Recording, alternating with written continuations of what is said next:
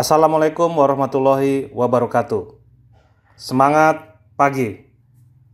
Pada pertemuan kali ini, kita akan membahas materi tentang memahami cara mengetahui masalah organisasi dan memilih prioritas masalah yang perlu segera diselesaikan.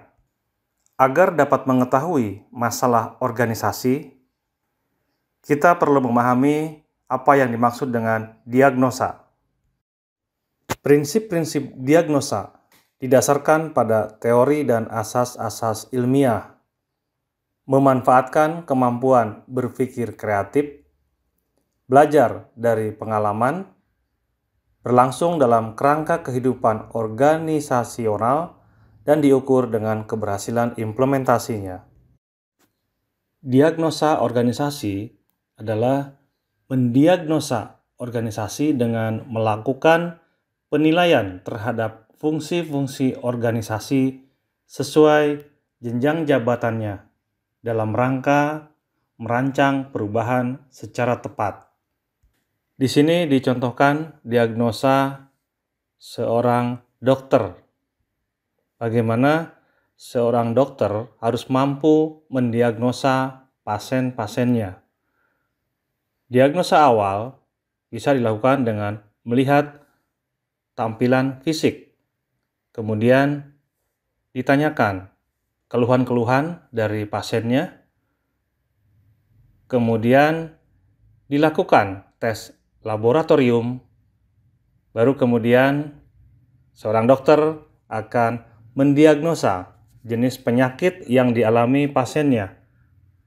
Untuk kemudian diberikan resep bagaimana yang terbaik yang perlu dilakukan oleh pasien. Apakah perlu dirawat atau berobat jalan? Kemudian, obat apa yang perlu dikonsumsi, dimakan, atau diminum, atau dioles agar pasien segera sembuh.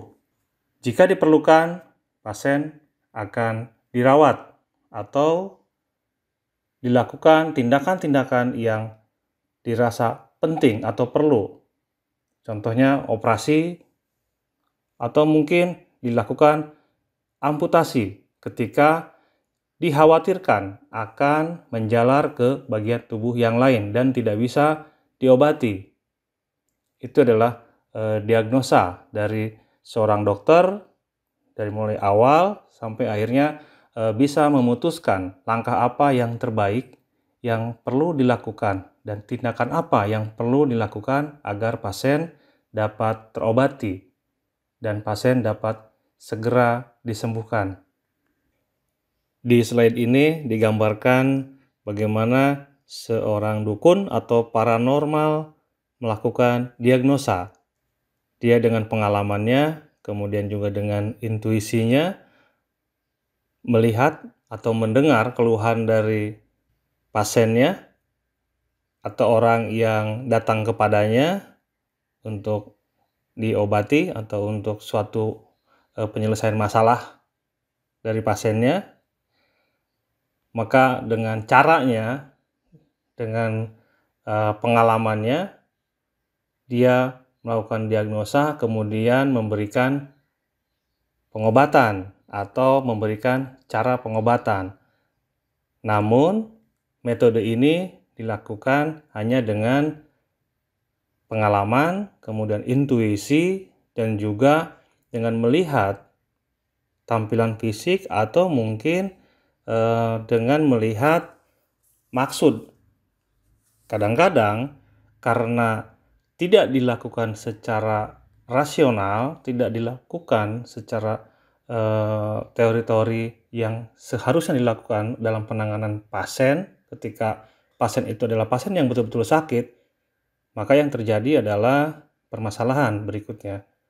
Karena tidak terlalu banyak alternatif pengobatan yang bisa diberikan atau di, dilakukan oleh seorang dukun yang memang eh, pengalamannya atau pengetahuannya atau jenis-jenis obatnya atau mungkin juga cara-cara penanganannya terbatas sesuai dengan pemahaman dan pengetahuannya yang dimiliki.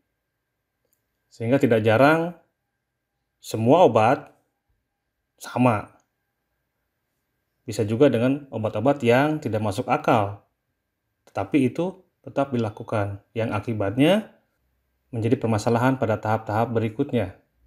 Memang ada yang berhasil, tetapi itu bisa jadi karena kebetulan atau mungkin karena pengalaman dari seorang dukun itu memang sangat banyak, sangat baik sehingga dia bisa e, menebak kira-kira obatnya apa. Tetapi jenis-jenis obatnya, jenis alternatif obat yang dia berikan pun tidak banyak karena memang sesuai dengan pengetahuannya. Seorang dokter dengan pengalamannya, dengan pengetahuannya, dengan hasil dari analisa laboratorium dan juga diagnosa yang akurat, maka dokter akan memberikan resep yang tepat. Beda penyakitnya, beda resepnya.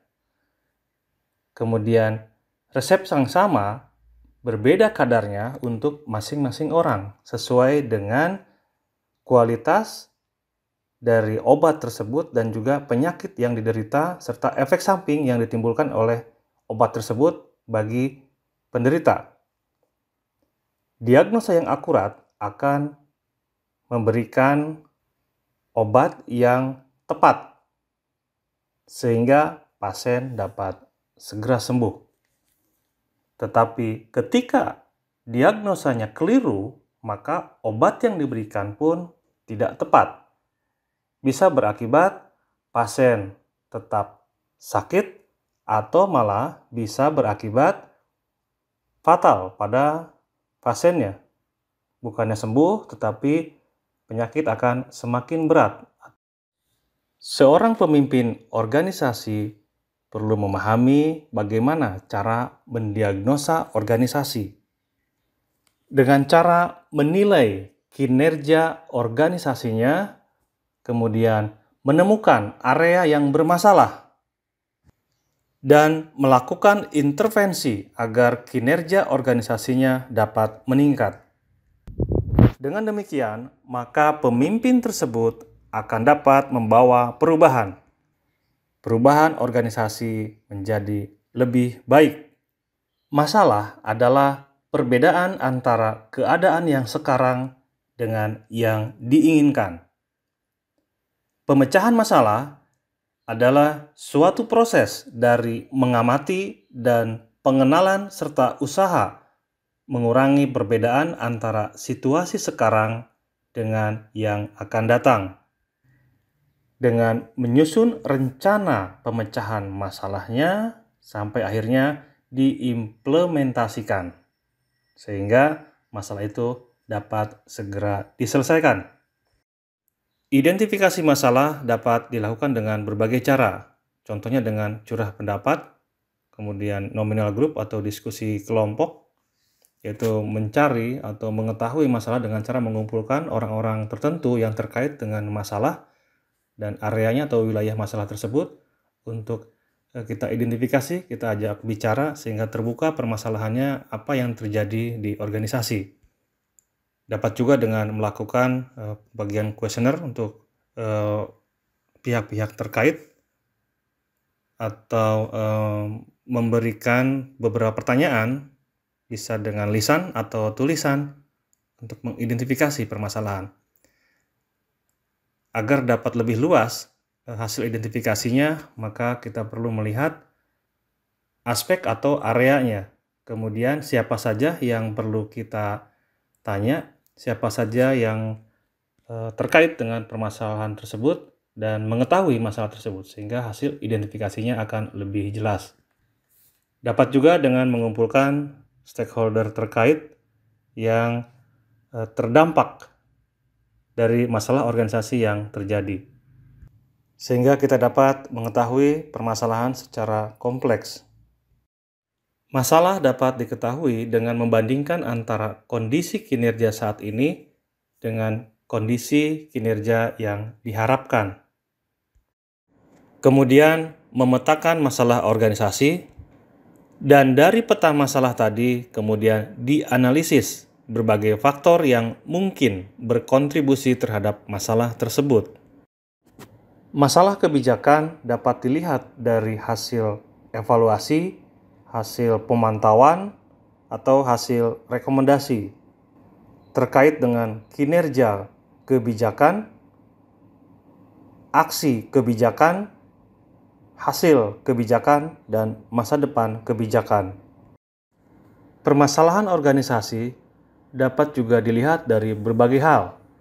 Contohnya bisa dilihat dari bagaimana komunikasi yang terjadi, bagaimana teamworknya, bagaimana hasil dari analisis dalam proses kerja atau hasil kerja.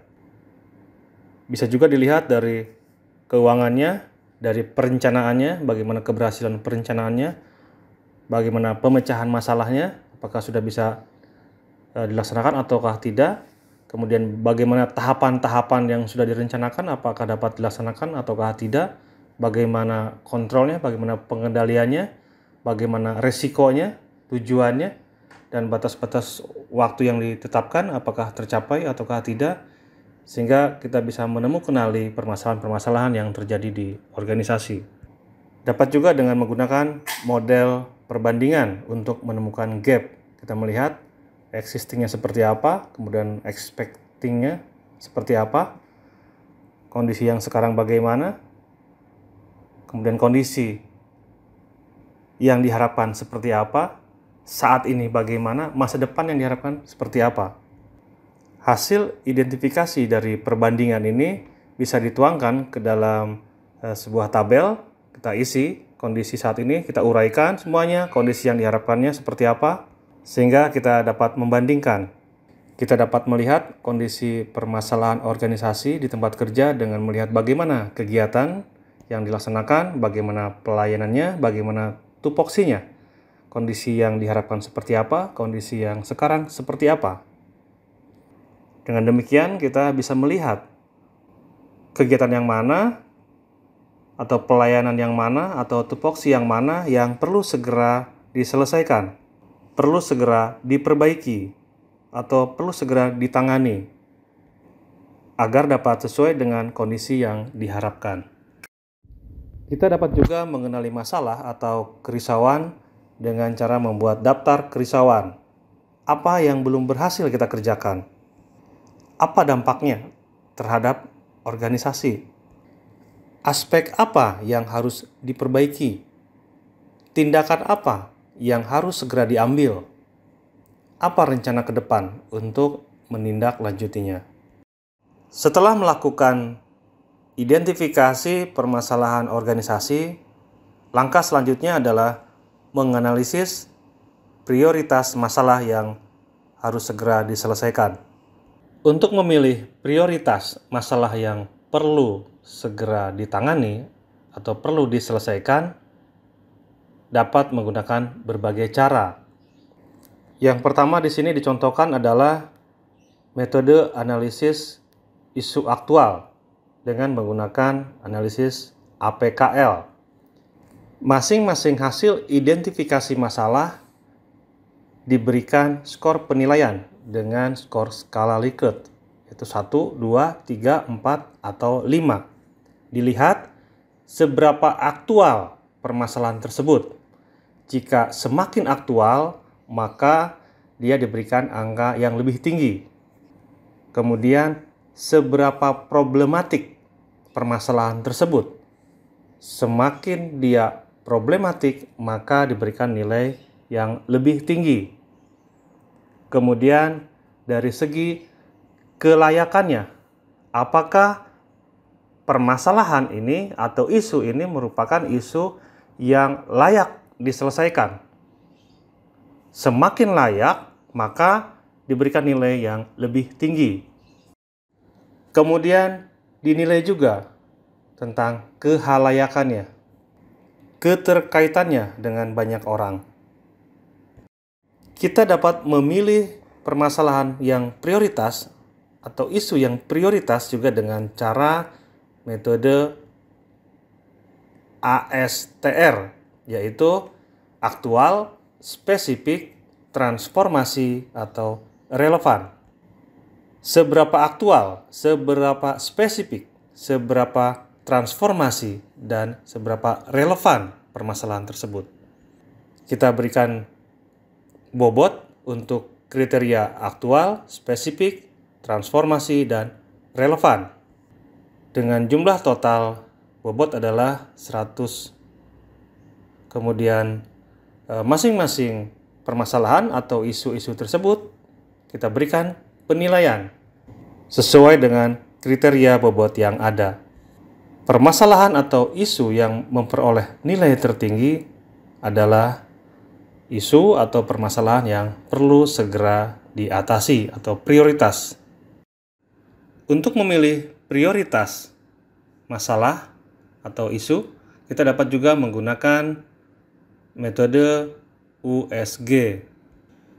Yang dimaksud dengan U adalah eh, seberapa urgent, kegawatan, dan besarnya dampak yang timbul terhadap keselamatan jiwa manusia, uang, produksi, atau harta benda, atau reputasi baik individu maupun organisasi.